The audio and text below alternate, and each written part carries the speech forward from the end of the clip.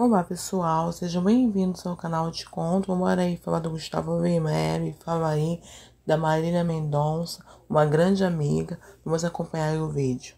Tudo bem por aí? Tudo certo? Olha, por aqui ainda muito confuso, sem entender o que aconteceu, é, sem entender o que sucedeu, tudo isso. Uma grande amiga, uma grande mãe, uma, uma artista incrível e não consigo entender porque a gente. Porque os bons vão cedo. A Marília, sem, sem dúvidas nenhuma, foi um dos maiores fenômenos da música e vai continuar a ser porque é, uma pessoa realmente só morre quando, a, quando seu nome não é falado mais. Então, isso não é o que, que vai acontecer com a Marília. A Marília permanece viva no nosso coração, a Marília permanece viva dentro da nossa mente, dentro do... jamais será esquecida.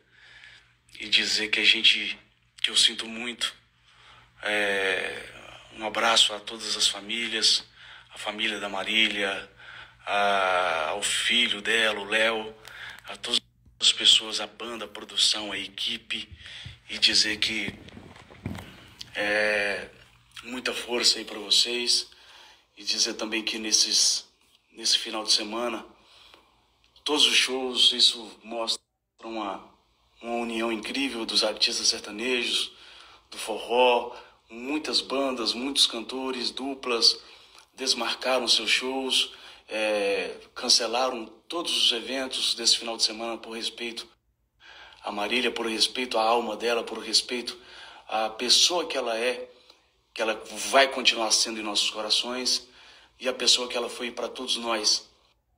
Um grande abraço a todos os artistas que tomaram essa decisão, que eu acho que mais correta, por respeitar esse momento tão, tão difícil para todos nós, brasileiros, fãs da Marília, amigos da Marília, e dizer que e também agradecer a todos os fãs é, que nos compreenderam, que nos compreenderam por esse momento, por esse, por essa essa situação muito delicada, muito delicada. Agradecer a Santarém, a Itaituba por por entender o momento onde eu, onde eu iria fazer os shows esse final de semana Felizmente ou infelizmente, a vida tem que continuar e a gente tem que voltar né, a seguir a nossa vida. Mas a saudade é algo que nunca passa.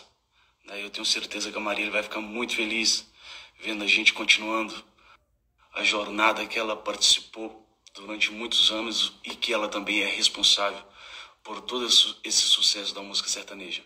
Então,